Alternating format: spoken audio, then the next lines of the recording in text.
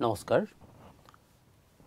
প্ৰিয় শ্ৰোতা দৰ্শকসকল আজি আপোনালোকৰ মাজত আমি আমন্ত্ৰণ কৰি আনিছোঁ অসমৰ এজন প্ৰথিত জখা ঔপন্যাসিক প্ৰকাশক শ্ৰীযুত নবীন বৰুৱাদেৱ। আজি আমি তেখেতক এই ষ্টুডিঅ'লৈ মাতি আনিছোঁ কিছুমান গুৰুত্বপূৰ্ণ প্ৰকাশনৰ লগত জড়িত কথাৰ সম্পৰ্কে আলোচনা কৰিবলৈ। লগতে তেখেতৰ ব্যক্তিগত জীৱনৰো কিছু সৃষ্টিশীল তেখেতৰ কামসমূহৰ পিছফালে থকা কিছুমান কথা আমি জানিবৰ কাৰণে। গতিকে আমি প্ৰথমে আজি আমাৰ এই অনুষ্ঠানলৈ শ্ৰীযুত বৰুৱাদেৱক অভিনন্দন জনাইছোঁ শুভেচ্ছা জনাইছোঁ। নমস্কাৰ ছাৰ। নমস্কাৰ ধন্যবাদ। আপোনালোকৰ মাজলৈ আহিবলৈ পাই আৰু আপোনালোকৰ যোগেদি কিছু শ্ৰোতা দৰ্শকৰ মাজলৈ যাবলৈ পাই মই নিজেই সুখী হৈছোঁ। হয়। প্ৰকাশনৰ কথা ক'বলৈ গ'লে মই কিয় প্ৰকাশলৈ আহিলোঁ? এইটোৰ এটা বেকগ্ৰাউণ্ড আছে। আপুনি এটা কথা নিশ্চয় লক্ষ্য কৰিছে যে মোৰ প্ৰকাশনত শতকৰা নব্বৈ ভাগ বা তাতকৈও বেছি নতুন লেখক লেখিকাৰ কিতাপেই প্ৰকাশ হয়। ইয়াৰ কথাটো ক'বলৈ গ'লে বহুত পিছলৈ মই যাব লাগিব। ঊনৈছশ আঠষষ্ঠি চনত যেতিয়া নীলাচল কাগজখন প্ৰকাশ হৈছিল সেই সময়তে আকস্মিকভাৱে হোমেন বৰগোহাঁইৰ লগত এটা মোৰ সম্পৰ্ক হয়। তেখেতে লেখা এখন ব্যক্তিগত চিঠি মই লেখা ব্যক্তিগত চিঠি তেখেতে এজন বিষণ্ন ডেকা ল'ৰা বুলি সেইখন অলপ সম্পাদনা কৰি এটা নতুন শিতান আৰম্ভ কৰিছিল নতুন পুৰুষ। তেওঁ সেই নীলাচল কাকতত হয়। প্ৰথম। এই নতুন পুৰুষ শিতানটো আৰম্ভ কৰাৰ পিছতেই মই তাৰ লগত অলপ জড়িত হৈ পৰোঁ। আৰু মোৰ যোগেদি সেই সময়ত বহুতো নতুন লেখক এই নতুন পুৰুষ শিতানত ভুমুকিও মাৰে। এই তেতিয়াৰ পৰাই নতুন মানে য়ং জেনেৰেশ্যনৰ লগত মই। নিজেও তেতিয়া য়ং আছিলোঁ। বহুত কম বয়সতে মই মোৰ প্ৰথম উপন্যাস কটন কলেজ লিখিছিলোঁ মই নাইনটিন ছিক্সটি ফাইভত যেতিয়া কটনত পঢ়ি আছিলোঁ। তেতিয়াই মই সেই উপন্যাসখন লেখা আৰু ছাত্ৰ অৱস্থাত যদিও সেইখন পিছত নাইনটিন ছিক্সটি নাইনত নীলাচলত প্ৰকাশ হয় আৰু। সত্তৰ চনত কিতাপ হিচাপে প্ৰকাশ হৈছে আৰু এতিয়ালৈকে এই কিতাপখন চলি আছে চলি আছে প্ৰায় পঞ্চাছ বছৰ প্ৰায় ওচৰ চাপিছে এই তাৰ পৰা মই ইতিমধ্যে ভাৰত চৰকাৰে আকাশবাণীত এটা নতুন অনুষ্ঠান আৰম্ভ কৰিছিল যুৱবাণী যুৱবাণী সেই যুৱবাণী অনুষ্ঠানটো কৰিবৰ কাৰণে মোক তেখেতসকলে এটা অফাৰ দিছিলে প্ৰথমতে তিনি বছৰৰ কাৰণে তাৰপিছত সেইটো আকৌ কণ্টিনিউ হৈছিলে। সেইটোত তেনেকুৱা এটাই কথা মানে দিল্লী কেলকাতা আৰু মাদ্ৰাজৰ পিছত একমাত্ৰ গুৱাহাটীতে এইটো অনুষ্ঠান আৰম্ভ হৈছিলে। সেই সময়ত এটা নক্সালাইট মুভমেণ্টে যথেষ্টখিনি ল'ৰা ছোৱালীবিলাকক হেৰি নিছিলে। চৰকাৰৰ এটা পলিচি আছিল যে তেওঁলোকৰ কিবা ক'বলগীয়া বক্তব্য অমুক থাকিবৰ কাৰণে এনেকুৱা এটা অনুষ্ঠান হ'ব। যিটোত সাধাৰণতে চেঞ্চৰশ্বিপটো নাছিল। এতেকে তেওঁলোকৰ যদি কিবা এটা চৰকাৰৰ বিৰোধীও কথা কৈছে তেতিয়া সেই যুৱনী অনুষ্ঠানত ব্ৰডকাষ্ট কৰাত কোনো বাধা নাছিল। নাছিল। তেওঁলোকৰ নিজৰ বক্তব্য যাতে ক'ব পাৰে যুৱ শক্তিৰ। এ, যুৱ শক্তি।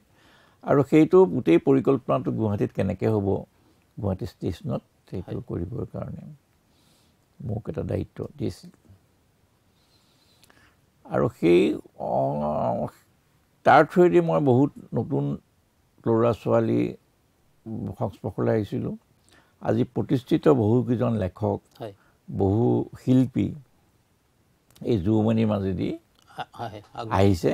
আজি প্ৰতিষ্ঠা লাভ কৰিছে বহুত সাংবাদিক লেখক আৰু শিল্পী আৰু প্ৰতিষ্ঠা লাভ কৰিছিল। মই তাৰপিছত তিনি বছৰ হৈ যোৱাৰ পিছত চৰকাৰে মোক স্থায়ীভাৱে এটা ৰখাৰ ব্যৱস্থা কৰিছিল। আৰু তাৰপিছত মই চাৰে তিনি বছৰ থক কাম কৰাৰ পিছত মই স্বেচ্ছাৰে আকাশবাণী পৰা মই মানে পদত্যাগ কৰিছিলোঁ। সেই সময়ত কিছুমান আভ্যন্তৰীণ গণ্ডগোল কিছুমান হৈ আছিল। অসম আন্দোলনক কেন্দ্ৰ কৰি। যিবোৰ কথা লৈ কিছু এটা মতবিৰোধ মোৰ হৈছিল অথৰিটিৰ লগত মই ভাবিলোঁ যে মই এটা নিজাকৈ কিবা কৰোঁ। আৰু এটা কথা হ'ল ঠিক মই আকাশবাণীত থকা সময়তে আমি কেইজনমান মানুহে দেৱব্ৰত দাস অজিত ভূঞা মিনতী চৌধুৰী আৰু মই এটা পৰিকল্পনা কৰিছিলোঁ যে নতুন লেখকসকলৰ কিছু কিতাপ মানে কৰাৰ এটা পৰিকল্পনা এখন এটা পাব্লিচিং হাউচ খোলাৰ আৰম্ভ কৰিছিলোঁ। আমি ইতিমধ্যে যদিও মোৰ নিজৰ নামত নাছিলে কিন্তু ময়ে গোটেইখিনি কৰিছিলোঁ কাৰণ তেতিয়া মই চৰকাৰী চাকৰি কৰিলোঁ আমি দুই তিনিখনমান কিতাপ প্ৰকাশো কৰিছিলোঁ। তাৰপিছত মই মনতে ভাবিলোঁ যিহেতু মোৰ অনুষ্ঠানটোৰ লৈ মোৰ কৰ্তৃপক্ষৰ লগত কিছু কথাত কিছু বিৰোধিতা আহিব ধৰিলে তেতিয়া মই ভাবিলোঁ যে মই চাকৰি আৰু নকৰোঁ। গতিকে এটা প্ৰথমতে মই প্ৰিণ্টিং চাকৰিটোত এৰি দিয়াখন কি কৰিম ঠিক ভবা নাছিলোঁ। কিন্তু যিহেতু মোৰ এইটো বিষয়ত এটা হেৰি আছিলে মই প্ৰিণ্টিং এণ্ড পাব্লিচিঙত অহাৰ কথা ভাবিছিলোঁ। গতিকে মই প্ৰথম প্ৰথম প্ৰিণ্টিং প্ৰেছ এটা আৰম্ভ কৰিছিলোঁ। কিন্তু পিছলৈ ইতিমধ্যে হঠাতে টেকন'লজিটো চেঞ্জ হৈ গ'ল। যে কম্পিউটাৰ আহিলে অফচেট আহিলে। এনেবোৰ কথাত ইনভেষ্টমেণ্টৰ বহুত সেই সময়ত বহুত বেছি হৈছিলে। কাৰণ তেতিয়া এটা এটা কম্পিউটাৰৰ প্ৰায় মূল্য ডেৰ লাখৰ বেছি আছিল। যিটো আজিকালি বিছ হেজাৰ পোন্ধৰ হাজাৰত পায়। ঠিকছে একোটা প্ৰিণ্টাৰৰ মূল্য আঢ়ৈ লাখ টকাৰ বেছি। সেইধৰণে অফচেট মেচিনৰ দাম যথেষ্ট বেছি প্ৰথম প্ৰথমে ওলাবৰ সময়ত। এতিয়া মই সেইটো সময়ত ভাবিলোঁ যে এনেকুৱা এটা ডাঙৰ হিউজ ইনভেষ্টমেণ্টত নগৈ মই সম্পূৰ্ণৰূপে পাব্লিচিঙত যোৱাটো ভাল হ'ব। আৰু তেতিয়াৰ পৰাই মই নাইনটিন এইটটি থ্ৰীৰ পৰাই এই পূৰ্বাঞ্চল প্ৰকাশটো মানে প্ৰথমতে প্ৰেছটো আছিলে তাৰপিছত মই প্ৰেছটো লাহে লাহে গ্ৰেজুৱেলি মই ৱিণ্ড আপ কৰি সম্পূৰ্ণৰূপে মই প্ৰকাশলৈ আহিলোঁ। মোৰ প্ৰকাশক হোৱাৰ দুটা কথা থাকে যে এটা হ'ল ব্যৱসায় এটা হ'ল এটা সামাজিক দায়ীবদ্ধতা ব্যৱসায়টো নিশ্চয় থাকিব লাগিব কাৰণ ব্যৱসায়টো নাথাকিলেতো মই অনুষ্ঠান এটা জীয়াই ৰাখিব নোৱাৰোঁ। কিন্তু মই সামাজিক দায়বদ্ধতাটোৰ ওপৰত মই বেছি গুৰুত্ব আৰোপ কৰিছিলোঁ। সেইবাবে মই প্ৰথম প্ৰথমে এটা সিদ্ধান্ত লৈছিলোঁ যে সাধাৰণতে অসমীয়া প্ৰকাশকসকলে টেক্সট বুকছ নোটছ চাফা কৰি তাৰপিছৰ পৰা তেওঁলোকে তাৰ পৰা যিটো লাভৱান হয় তাৰে সৈতে অন্য বাহিৰ যিবোৰ আমি বাহিৰা কিতাপ বুলি কওঁ সেই কিতাপবিলাক প্ৰকাশ কৰিবলৈ আহে। যিটো এতিয়া সদায় সেইটোৱে আছিলে। প্ৰথমতে তেওঁলোকে মানে নোটছ বা পাঠ্যপুথি চাফা কৰে। তাৰ পৰা গৈ পেলাই যিটো প্ৰফিট হয় প্ৰফিটৰ এটা অংশ তেওঁলোকে হেৰিয়াত চাফা কৰিবলৈ আহে। অন্যান্য ভাল কিতাপ চাফা কৰি আহে।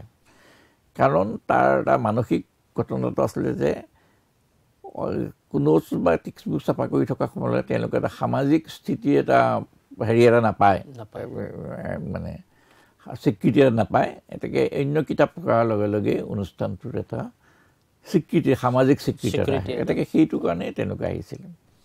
কিন্তু মই প্ৰথমতে সেই এটা সিদ্ধান্ত লৈছিলোঁ যে মই টেক্সট বুক ব্যৱসায় বা নোটছৰ ব্যৱসায়ত মই কেতিয়াও নাযাওঁ। সেইকাৰণে মই মানে অকল যিবোৰ আমাৰ সাধাৰণতে বাহিৰা কিতাপ বুলি কয় সেই ধৰণৰ কিতাপ মই প্ৰকাশ কৰিবলৈ চেষ্টা কৰিছিলোঁ। আৰু এইবিলাক কিতাপ কৰিবলৈ যাওঁতে মই কিতাপৰ কোৱালিটিটিৰ ওপৰত মই তাত চাইছিলোঁ। আজি কেইবাজনো মোৰ দ্বাৰা প্ৰকাশিত কিতাপৰ দ্বাৰা এতিয়া তেওঁলোকে প্ৰতিষ্ঠা লাভ কৰিছে। তেওঁলোকৰ বেলেগ বেলেগ প্ৰকাশে তেওঁলোকৰ কিতাপ হেৰি কৰিছে। কিন্তু প্ৰথম প্ৰথম কিতাপ কিন্তু মোৰ তাৰ পৰা যেনে উদাহৰণস্বৰূপে দেৱব্ৰত দাসৰ প্ৰথম কিতাপ মই ছাপা কৰিছিলোঁ। মণিকুন্তলা ভট্টাচাৰ্যৰ কিতাপ মই ছাপা কৰিছিলোঁ। আজি প্ৰতিষ্ঠিত হৈছে। দিলীপ বৰা কলিজাৰ এই কিতাপখন মই প্ৰথম প্ৰকাশ কৰিছিলোঁ। উপন্যাস। তাৰপিছত তেখেত প্ৰতিষ্ঠিত হৈ বহুতকেইখন কথাটো কৈছোঁ। তেনেকৈ বহুত ধৰণৰ তেনেকৈ ওলাইছে আৰু বিভিন্ন বিষয়ৰ ওপৰত তেনেকৈ বহুত লেখক প্ৰতিষ্ঠা লাভ কৰিবলৈ সুযোগ পাইছে।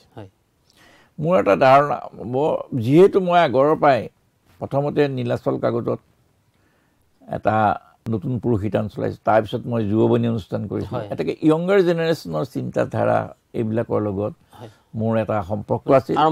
আৰম্ভণিৰ পৰাই। মোৰ জীৱনটো তেনেকৈ আৰম্ভ হৈছে। ঔপন্যাসিক বিশ মই- সেইকাৰণে হয়, কলেজ লিখিছিলোঁ এইটো কথা থকাৰ কাৰণে মই সদায় প্ৰতিষ্ঠিত মোৰ যদিও প্ৰতিষ্ঠিত লেখকসকলৰ লগত মোৰ এটা ভাল সম্পৰ্ক আছে তেওঁলোকৰ লেখা প্ৰতি মই বৰ আগ্ৰহ মানে মানে মোৰ তেওঁলোকৰতো প্ৰকাশকৰ অভাৱ নাই। আগ্ৰহ আছে আগ্ৰহ আছে কিন্তু যিহেতু তেওঁলোকৰ প্ৰকাশক প্ৰকাশকৰ প্ৰকাশকৰ তেওঁলোকৰ অভাৱ নাই। কিন্তু নতুন লেখক এজনে এজন প্ৰকাশ বিচাৰি পোৱাত দিগদাৰ। নতুন প্লেটফৰ্ম গতিকে তেওঁলোকৰ যাৰ প্ৰতিভা আছে সেই প্ৰতিভাবিলাক কেনেকৈ যদি বিকাশ কৰিব পাৰে। সেইটো মোৰ উদ্দেশ্য। হিচাপে লৈ মই প্ৰকাশনটো এতিয়ালৈকে চলাই আছোঁ গতিকে ইয়াত ইতিমধ্যে মই অসমীয়া কিতাপৰ উপৰিও মানে ইংৰাজী কিতাপো প্ৰকাশ কৰিবলৈ মই আগুৱাই আহিছে। তাৰ কেইবাটাও কথাটো হৈছে কি যে মোৰ দুটামান সৰু ঘটনাই মোক বৰ প্ৰভাৱান্বিত কৰিছে। মই লেখিকাগৰাকী অসমৰ এজন প্ৰতিষ্ঠিত বিশ্ববিদ্যালয়ৰ অধ্যাপিকা। তেখেত ঢুকাইছে তেখেতৰ নামটো মই ক'ব নোখোজোঁ। তেখেতৰ এখন কিতাপ দিল্লীৰ এজন প্ৰকাশকে প্ৰকাশ কৰিলে। প্ৰকাশ কৰিলে আৰু সেই কিতাপখন মই বজাৰত মোৰ প্ৰতিষ্ঠানৰ পৰা বিক্ৰীও কৰিছিলোঁ। বিক্ৰী কৰাৰ পিছত কিন্তু দিল্লীৰ প্ৰকাশকজনে কৰিলে কি কিতাপখনৰ যিটো বিষয় আছিলে যিটোৰ ওপৰত আছিলে কিতাপখনৰ বিষয়টো আছিলে সেইটো পৰা ফালৰি কাটি কিতাপটোৰ নামটো বদলাই দিলে। কিন্তু সেইটো কিতাপখনৰ বিষয়টো সেইটো নাছিলে। মোৰ তাৰ পৰা কিতাপখন কিনি লোৱাৰ পিছত এজনে কিনি পঢ়ি পেলাই মোক ক'লে আপুনি মোক কি কিয় আপোনাৰ নিচিনা মানুহে এনেকৈ ঠগিব বুলি ভবা নাছিল তেওঁ শব্দটো মই বোলো কি ঠগিলোঁ? মই ক'লো যে চাওক লিখিছে এজন বেলেগে লেখিকে পাব্লিছ কৰিছে এজনে মইতো প্ৰত্যেকখন কিতাপ পঢ়ি পঢ়ি কাৰোবাক কিতাপ এখন মই বিক্ৰী কৰিব নোৱাৰোঁ। এতেকে মই থকা বুলি কৈছে। যদি কৰিছে প্ৰকাশকে ভুল কৰিছে নহ'লে লেখকে কৰিছে। তাৰপিছত মই সেই কিতাপখনৰ সেই তেওঁ এনেকুৱা কথা এটা মনটোত দুখ পাই পেলাই মই এই যিগৰাকী লেখি তেওঁৰ ওচৰতে গৈ ক'লোঁ যে কিতাপখন কিয় আপুনি নামটো তেওঁতো আকাশৰ পৰা পৰা নিচিনা ক'লে মোৰ কিতাপখন প্ৰকাশ হ'ল নেকি? মই বোলো হ'ল। বোলে কেতিয়া? মই বোলো প্ৰায় এবছৰে ছমাহত এই মইতো গম নাপাওঁ। আৰু কিতাপৰ নামটোতো এইটো নাছিলে। মই এতিয়া কিতাপ মোক এখন কিতাপ দিয়াচোন ক'লে। মই তাৰপিছত মই তেওঁ এখন কিতাপ দি কিনিলেও বিচাৰিছিলে। মই আৰু তেওঁ মই উপহাৰ হিচাপে দি দিওঁ সেইটো এটা ঘটনা। দ্বিতীয় আৰু এটা ঘটনা ঘটিল। এজন আৰু এখন কিতাপ আমাৰ গ্ৰন্থমেলাবিলাকত চলি থাকোঁতে হঠাতে আহি এজন কলেজৰ অধ্যাপকে কিতাপখন দেখি এইখন কিতাপ ওলাল নেকি? এই চাওঁচোন চাওঁচোন মোক হেৰি মই কিতাপখন চাব চাব খুব আগ্ৰহ বিচাৰিলে আপোনাৰ বোলে আপুনি গম নাপায়? অঁ মই পঠাইছিলোঁ কিতাপখনটোতো পাব্লিচাৰে একো জনোৱা নাই। বুজিছে নাই? কিতাপখন ওলালে মই দেখাই নাই যেতিয়া মই কিতাপখন তেওঁ কিনি ল'ব বিচাৰিলে। বৰ বেয়া লাগিলে। মই ক'লোঁ নালাগে দিয়ক সেইখন আপোনাক কমপ্লিমেণ্ট তেওঁ ক'লে নাই আপুনি ক'ৰপৰা দিব। মই ক'লোঁ সেইটো দিগদাৰ নহয় পাব্লিচাৰৰ লগত ঠিক কৰি ল'ম বাৰু। বুলি তেখেতক কিতাপখন দিলোঁ। আৰু সেই কিতাপখনৰ অলপ দিনৰ পিছতে মই শুনিলোঁ যে লেখকজন ঢুকালে। হয়। এই দুটা কথাই মোক বৰ মানে মনত এটা আঘাত দিলে। যে অসমীয়া লেখকসকলৰ বাহিৰৰ প্ৰকাশকে এনেকুৱা এটা ব্যৱস্থা কৰে।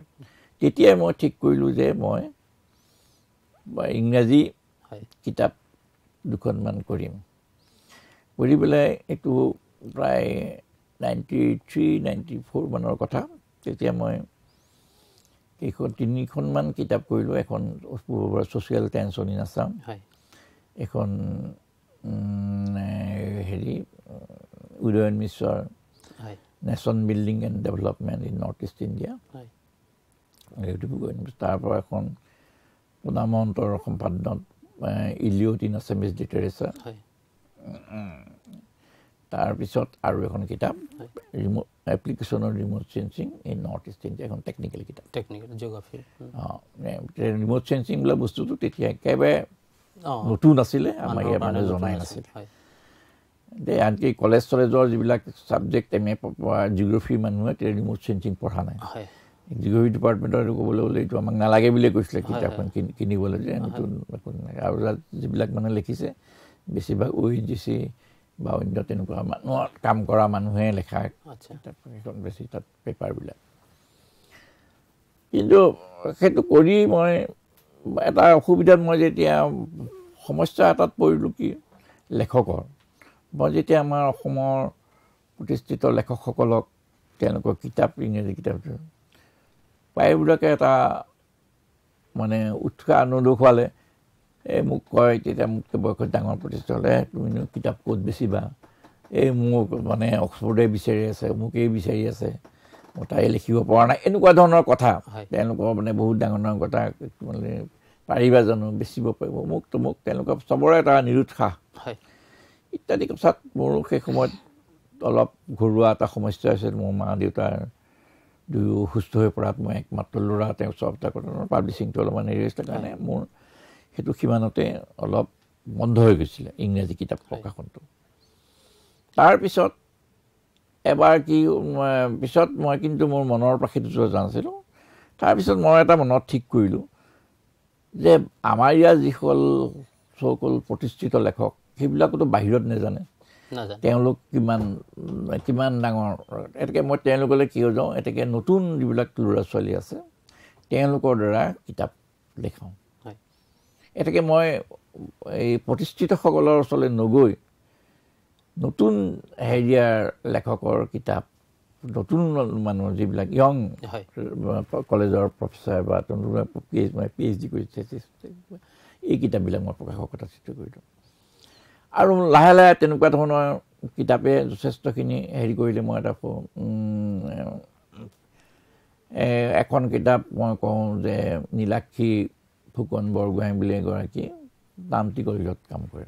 তেওঁ ফিমেল ডেন্স ট্ৰেডিশ্যন চাম বুলি এখন কিতাপ লিখিছিলে। তেওঁতো নামটি কলেজত এখন সৰু ঠাই কলেজত কাম কৰা মানুহ। কিন্তু কিতাপখন মই যেতিয়া প্ৰকাশ কৰিলোঁ মই দেখিলোঁ সৰ্বভাৰতত তাৰ এটা হেৰি হ'ল আনকি corporate sector oil O' N G C হেৰি এইবিলাকো কিনিছে। কিনিছে। অ' এন জি চি দিল্লীৰ পৰা যেতিয়া কিতাপখন কিনিলে মই প্ৰথম ভাবিছোঁ যে নামটি আৰু সহগতে অ' এন জি চি সেইটো কিবা হেৰিয়াত মই ৰাইটাৰক সুধিলোঁ। তেওঁ ক'লে মই কাকো একো কোৱা নাই। তেওঁলোকক কওঁ যে জানিব বিচাৰিলোঁ যে কিতাপখন কি কাৰণে তেওঁলোকে অ' এন জি চিয়ে কি কৰিব ফেমিলি ডেন্স ট্ৰেডিশ্যন তেওঁলোকৰ ছাবজেক্টটো নিমিলে পঞ্চাছ কপি তেওঁলোকে কিতাপ যেতিয়া আমালৈ অৰ্ডাৰ দিলে। তেতিয়া তেওঁলোকে ক'লে যে বহুত আমাৰ ভিজিটৰ্ছ আহে ডিগনিটৰিজ আহে তেওঁলোকক অসমৰ বিষয়ে কিতাপ দিবলৈ নাই। সেই কিতাপখন কোনোবা এজন ডাইৰেক্টৰে পঢ়ি পালে কোনোবা এখন বিপদ আহি পেলাই তেওঁ প্ৰেছ হ'ল। এতিয়া তেওঁলোকে আমাক কিনিবলৈ কৈছে কিনি আনি থ'বলৈ কৈছে যাতে অসমৰ বিষয়ে জনাবলৈ কেতিয়াবা কাৰোবাক দিব পাৰি। এইটো কথা যে নীলাক্ষী ফুকন বৰগোহাঁই কোনো চিনাকি নাম নহয় কোনো প্ৰতিষ্ঠিত অসমৰ লেখিকা নহয়। ঠিক তেনেকৈ কিন্তু তেওঁক মই উলিয়াই আনিলেও তেওঁ সৰ্বভাৰতীয় লেভেলত অকল তেওঁ অকল হেৰিয়াত নহয় ভাৰতত নহয় ভাৰতৰ বাহিৰতো এই কিতাপবিলাক এক্সপৰ্ট হৈছে। মোৰ ভাল লাগিছে যে মই যিবিলাক কিতাপ মই প্ৰকাশ কৰিছোঁ প্ৰায়বিলাক কিতাপেই লাইব্ৰেৰী অফ কংগ্ৰেছত আছে। ইংৰাজী কিতাপ প্ৰায়বিলাকে আছে অসমীয়া কিতাপো কিছু বহুতবিলাক কিতাপ আছে। এই যে কিতাপ এখন লাইব্ৰেৰী অফ কংগ্ৰেছত গৈ অসমীয়া লেখক এজনৰ কিতাপ এখন যে দেখিব কোনোবাই তাত পঢ়িব ঠিক তেনেকৈ ধৰি লওক মই ৰাইনুৰ ওপৰত গড়ৰ ওপৰত লেখা এখন কিতাপ বুদিন হাজৰিকা বুলি এখন কিতাপ। সেইখন উলিওৱাৰ পিছত মই দেখিলোঁ জাৰ্মানৰ এটা এটা মানে লাইব্ৰেৰীয়ে আমাক কৈছে যে আপোনালোকে আমাক এই কিতাপখন প্ৰিজাৰ্ভ কৰিবলৈ টেকনিকেলি প্ৰিজাৰ্ভ কৰিবৰ কাৰণে আমাক এটা পাৰ্মিশ্যন লাগে। এইটো এটা বৰ ডাঙৰ কথা। ডাঙৰ কথা। তেওঁ অসমৰ এখন সৰু কলেজত খাৰুপতীয়া কলেজত শিক্ষক এতিয়া বৰ্তমান প্ৰিন্সিপাল হৈছে। তেতিয়া তেওঁ হেৰি আছিলে কি কয় মঙলদৈ কলেজৰ অধ্যাপক আছিলে। এই মানুহজনৰ কিতাপ এখন গৈ যেতিয়া জাৰ্মানৰ এটা বিশেষ লাইব্ৰেৰী তেওঁলোকে আজিকালি সংৰক্ষণ। কৰিবৰ কাৰণে। যে ৰাখিছে ডাঙৰ কথা। সেইটো এটা ডাঙৰ কথা। তেওঁলোকৰ নৌন মানুহ নহয়। মোৰ কথাটো হৈছে এই কিতাপবিলাক পৰা মোৰ যে সাংঘাতিক কিবা লাভ হৈছে বহুত বিক্ৰী হৈছে এইটো কথা নহয়। হয় নহয়। কিন্তু যিকেইখন কিতাপে গৈ পেলাই বাহিৰত হেৰি কৰিছে আনকি সৰু সৰু মানে কলেজবিলাকত আজিকালি বহুত চেমিনাৰ হয়। মই এবাৰ শিৱসাগৰ কলেজত যাওঁতে শিৱসাগৰ কলেজৰ প্ৰিন্সিপালে ক'লে যে আমাৰ এই চেমিনাৰৰ কিতাপ আমি হেৰি পাই পেলাই চাফা কৰিছিলোঁ তো কিতাপবোৰ যি সি আহে তাকে প্ৰেজেপ দিওঁ আমি আৰু কোনো মানে আমাৰ কোনো আউটলেট নাই ক'ত কিতাপখন হেৰি কৰিম প্ৰচাৰ কৰিম গতিকে কিবা মই ক'লো এইটো আপোনালোকে কামটো কৰিব নালাগে আপোনালোকে এটা কাম কৰক কিতাপ আপোনালোকৰ হৈ আমি প্ৰকাশ কৰিম হয় আপোনালোকে অলপ কিতাপ আপোনালোকৰ প্ৰয়োজনীয় কিতাপ আমাৰ পৰা কিনি ৰাখিব। যিখিনি আপোনালোকে বিভিন্ন ইউ জি চি মান বা অন্যান্য কাৰোবাক কাৰোবাক দিব লগা বাকীখিনি আমি চাফা কৰি আমি মানে প্ৰচাৰ প্ৰসাৰ মাৰ্কেটিঙৰ এইটো কৰাৰ পিছত সেই একে একেলগে সেই তিনি কেইবা- তিনিজন প্ৰিন্সিপাল জয়সাগৰতে। ঘৰ গৈ আছে। তেওঁলোকে একেলগে মোৰ লগত বহিলে। বহি লৈ শিৱসাগৰ কলেজৰ প্ৰিন্সিপাল জয়সাগৰ কি কয় তাৰপিছত শিৱসাগৰ গাৰ্লছ কলেজৰ প্ৰিন্সি তেতিয়াৰ প্ৰিন্সিপাল আৰু চাইং কলেজৰ তেওঁলোকে সকলোৱে তেওঁলোকৰ প্ৰত্যেকৰে এখন আমাক কিতাপ দিয়াৰ কথা ঠিক কৰিলে আমি তেওঁলোকৰ on behalf of this college তাৰপিছত এই ট্ৰেডিশ্যনটো চলি আছে। আনকি ট্ৰেডিশ্যন আছে বহুত কলেজে আমাৰ থ্ৰুৱেদি কিতাপবিলাক প্ৰকাশ কৰে তেওঁলোকৰ সেই কিতাপবিলাক। ৰিচেণ্টলি হেৰি এখন কিতাপ আমি প্ৰকাশ কৰিছোঁ কমাৰগাঁও কলেজৰ এই ইনচাৰ্জেঞ্চিৰ ওপৰত। নৰ্থ ইষ্টৰ ইনচাৰ্জেঞ্চিৰ ওপৰত এই কিতাপখনো দেখিছোঁ অসম অসমৰ বাহিৰত গৈছে। এইবিলাক সৰু সৰু ঠাই কলেজত। Rural area college. তাত যিবিলাক মানুহৰ চিন্তা চৰ্চা হৈ আছে সেইবিলাক বস্তু আমি আনিছোঁ আনকি তেজপুৰ ইউনিভাৰ্চিটিৰ কালচাৰেল ডিপাৰ্টমেণ্টৰ এতিয়ালৈকে আমি প্ৰায় ছখন কিতাপ প্ৰকাশ কৰিছে। প্ৰকাশ কৰি উলিয়াইছোঁ তেওঁলোকৰ তেওঁলোকৰ হৈ। যিবিলাক কিতাপৰ বাহিৰলৈ যাবলৈ সুবিধা হৈছে। ইয়াৰ মূল উদ্দেশ্যটো হৈছে যে এইবিলাক যিবিলাক ৰাইটাৰে কিতাপ লিখিছে যিবিলাক লেখক সেইবিলাক খুব প্ৰতিষ্ঠিত চকল প্ৰতিষ্ঠিত অসমৰ লেখক নহয়। অপৰিচিত। অপৰিচিত। কিন্তু তেওঁলোকৰ প্ৰতিভা আছিলে তেওঁলোকৰ প্ৰতিভাটো বাহিৰলৈ যোৱাৰ কোনো সুযোগ বা সুবিধা তেওঁলোকে পোৱা নাছিল। মই এটা তেওঁলোকক যাবৰ সুবিধা এটা কৰি দিছোঁ। সুবিধা মানে আপুনি এখন প্লেটফৰ্ম তেওঁলোকক দিছোঁ। জাতীয় বা আন্তৰা- আন্তঃৰাষ্ট্ৰীয় পৰ্যায়লৈকে লৈ গৈছে। তেওঁলোকৰ যে কিতাপৰ দহটা কপি যে এই লাইব্ৰেৰী অফ কংগ্ৰেছত আছে এইটোৱে এটা ডাঙৰ স্বীকৃতি। হয় ডাঙৰ স্বীকৃতি। বুজিছেনে ভাৰতবৰ্ষৰ চাৰিটা লাইব্ৰেৰীত যিকেইটা কম্পালচৰিকৈ আমি দিব লাগে নেশ্যনেল লাইব্ৰেৰী দিল্লীৰ পাব্লিক লাইব্ৰেৰী মাদ্ৰাজৰ এইকেইটা লাইব্ৰেৰীত তেওঁলোকৰ কিতাপকেইখন থাকে বম্বে। এই- এইটো এটা বৰ ডাঙৰ কথা। তাৰ উপৰিও ভাৰতবৰ্ষৰ মই নিজে গুৱাহাটীত থাকি নিজে এক্সপৰ্ট কৰিব নোৱাৰোঁ। আমাৰ এক্সপৰ্টাৰ বেলেগ। তেওঁলোকে আমাৰ পৰা কিতাপ এখন দুখনকৈ হ'লেও নি থাকে পেলাই বিদেশলৈ পঠায়। এই যে বিদেশৰ ক'ৰবাৰ লাইব্ৰেৰীত কিতাপখন গৈছে এই অসমৰ এজন লেখকৰ কিতাপ এখন is not known in Assam. অসমতে তেওঁলোক পৰিচিত নহয় হয়। কিন্তু অসমৰ বাহিৰত তেওঁলোক পৰিচিত। এই যে এটা কথা যে হৈছে যে এই যে কৰিব পাৰিছোঁ এইটো এটা এটা- এক প্ৰকাৰৰ সন্তুষ্টি এটা মন- মানসিক মোৰ সন্তুষ্টি। অৰ্থনৈতিকভাৱে অৰ্থনৈতিকভাৱে অলপ হেৰি অন্য আজি টেক্সট বুক পাব্লিচাৰ বা নোটছ পাব্লিচাৰৰ যিমানখিনি পইচা আছে। সেই সেইটো পইচাটো মোৰ নাই। কিন্তু মই চলি যাব পাৰিছোঁ মোৰ এটা অনুষ্ঠান জীয়াই ৰাখিব পাৰিছোঁ মোৰ কৰ্মচাৰীসকলক দৰমহা দিব পাৰিছোঁ। এইটোৱে এটা মোৰ মোৰ হেৰি পইচা ঘটাটো ব্যৱসায়টো এটা বেলেগ বেলেগ কথা। আৰু এটা মনৰ সন্তুষ্টিটো বেলেগ কথা। এই যে মানুহবিলাকৰ এটা মানুহক এটা মই দিব পাৰিছোঁ। এইটোৱে।